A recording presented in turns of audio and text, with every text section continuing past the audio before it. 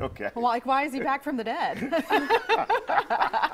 but it's a pretty- pretty cool thing that they do over there, I will one. say. So make sure you join us Facebook Live this morning. Absolutely. morning. And today we're looking at this great going into the weekend with great weather, right? Yeah, it's going to end. We're going to end the week on a very high note, and we're talking temperatures kicking off Yeah. the weekend Good. and good spirits this weekend. But that may not be the story for the entire Fourth of July holiday weekend. But I'll march through that in moments. Here's your hour-by-hour breakdown starting this morning. Temperatures are in the upper 60s, mid 70s by 8 o'clock. Plenty of sunshine through your 10 o'clock hour with 84 late this morning. Noontime temps already at 90. We could see a few fair weather clouds drifting by the afternoon sky.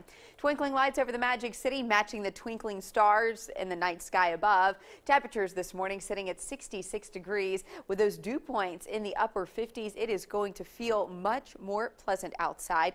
It's going to uh, even feel refreshing, which is not a word I generally use in July. That's right. Today is the first day of July. I even had to check the calendar.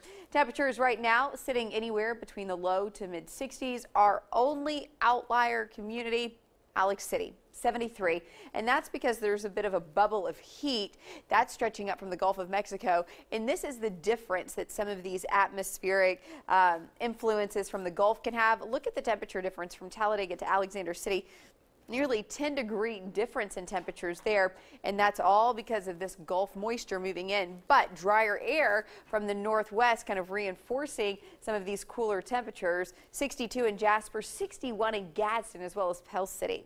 It's a dry start for us across central alabama this morning but there is an air quality alert for jefferson and shelby counties this morning. So just be mindful of that maybe limit some of that time outside especially with that air quality alert. We're looking at some rain along the Gulf Coast, and this rain is going to move into the panhandle of Florida, slowly creeping its way into the wiregrass in southeast Alabama. That being said, this is exactly that corridor of moisture we were seeing yesterday, and that's pretty much where I'll put rain chances today if we even have an opportunity for wet weather. It's going to be in the fringe of our viewing area. Looking at your storm track futurecast, it's going to stay pretty empty. We're looking at temperatures again about mid to upper 80s by 10 o'clock, but a sky full of sunshine today. We will see plenty of blue sky carry us through the afternoon. Highs today heating though into the mid 90s. It's going to be a bit warmer this afternoon, but still with those lower humidities, it's still not going to be quite oppressive outside, but still 94 dry heat is still 94 so it's still going to be a hot one out there.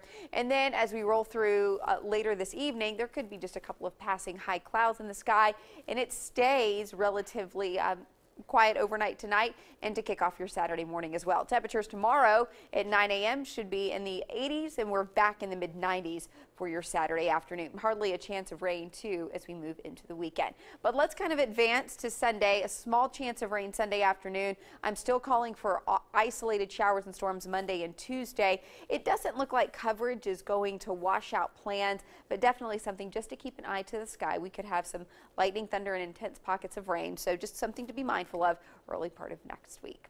And that is a look at your storm track seven day forecast. Art.